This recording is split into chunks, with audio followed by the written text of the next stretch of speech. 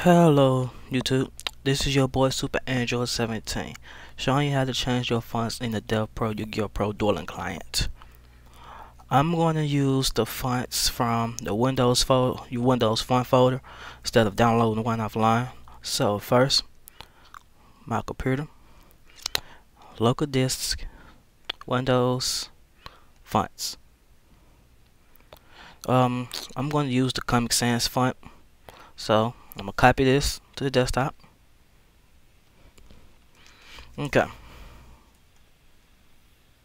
Once copied to the desktop, you will need to go to your Dev Pro directory into the fonts folder. So I'm showing you how to get there. File Manager, Open Folder.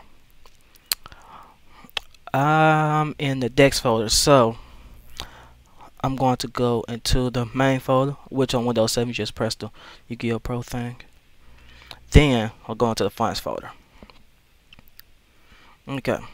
As many of you have seen, the font only record the game only recognize this font here. So you will need to copy this name this font name here and rename the font that you want to change to as this. Okay.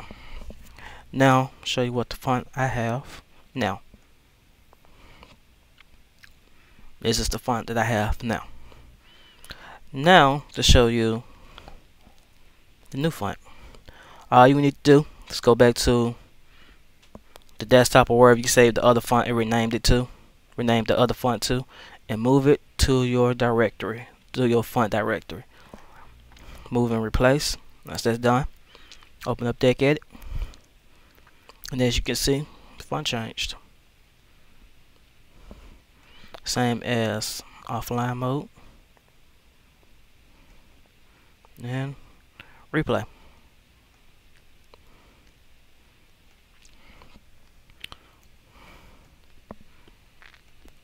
Alright and that's how you change your fonts on Dev Pro this has been Super Android 17. Please thank you for watching. Please like, comment, subscribe. Um, let me know any other tutorials you want me to make or attempt to make. Um, the sound tutorial is in the making. I just have to figure out how to get everything worked into one. And once again, thank you for watching.